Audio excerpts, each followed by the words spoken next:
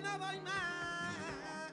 Yo me enamoré una vez y no me vuelvo a enamorar.